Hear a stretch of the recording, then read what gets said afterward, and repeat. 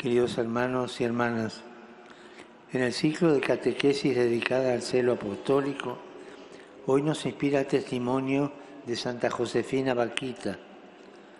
Nació en Sudán y cuando tenía apenas siete años fue raptada y convertida en esclava. Durante su esclavitud padeció numerosos sufrimientos físicos y morales.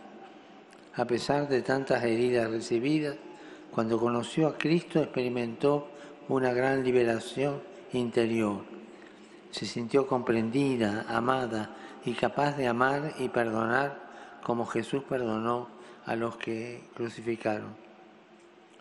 La experiencia del perdón hizo de Vaquita una mujer pacífica y pacificadora, libre y liberadora. Su ejemplo nos muestra el camino para liberarnos de nuestros miedos y de nuestras esclavitudes, para desenmascarar nuestras hipocresías y egoísmos, para reconciliarnos con nosotros mismos y sembrar paz en nuestra familia y comunidades. Su testimonio de vida nos enseña que el celo apostólico se expresa en gestos de misericordia, de alegría y de humildad. Saludo cordialmente a los peregrinos de lengua española. Pidamos a Nuestra Señora del Pilar, cuya fiesta celebramos mañana, que nos ayude a seguir el camino de la santidad, testimoniando la fuerza transformadora del perdón de Cristo.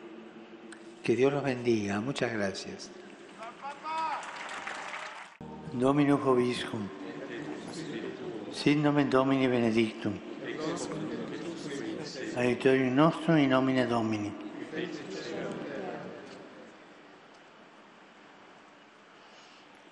Benedicat vos, omnipotens Deus, Pater, et Filius, et Spiritus Sanctus.